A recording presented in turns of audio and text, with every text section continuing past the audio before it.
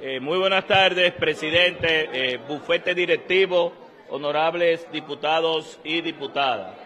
En el día de hoy, en esta tarde, nosotros estamos conociendo por mandato de este hemiciclo, la Comisión Permanente de Contratos y por la aprobación de la resolución número 309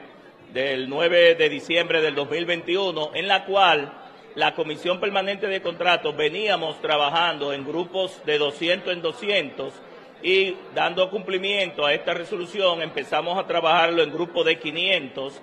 Hasta la fecha ya llevábamos, ya llevamos tres grupos de 500. Con este cuarto grupo eh, estamos hablando de 2.000 proyectos de resoluciones de contrato que agregado a las dos del grupo de 200 estaríamos eh, aprobando 2.223 proyectos de resolución de contrato entre el Estado y particulares que van desde el año 1971 hasta la fecha en beneficios de muchos dominicanos y dominicanas. Por favor, colegas, por favor, allá atrás, por favor, Vamos a escuchar la información que está dando el diputado Tobías, que es importante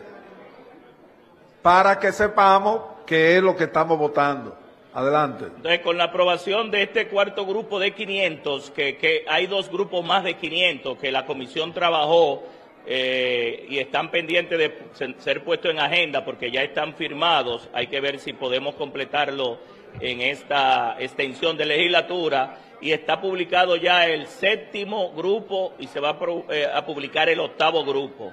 Eh, con esta aprobación, vuelvo y repito, muchos dominicanos y dominicanas que compraron al Estado o se le donó eh, propiedades, muchas de ellas son apartamentos en proyectos económicos y que del año 1971 a la fecha, que es la estadística que tenemos, beneficiaríamos a estos ciudadanos de escasos recursos, muchos de ellos de clase media, baja, clases populares,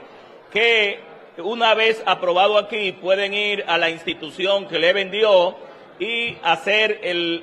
el, proceso de saneamiento para a través de la ley de condominio individualizar su título y ser sujeto de crédito. Y eso moviliza la economía porque muchos de ellos no pueden vender sino hacer un traspaso porque no tienen el título. Entonces pedimos a los diputados y diputadas que en el día de hoy, tal cual lo han hecho en los demás grupos de 500, la aprobación favorable de este grupo, este cuarto grupo de 500. Muchas gracias, presidente.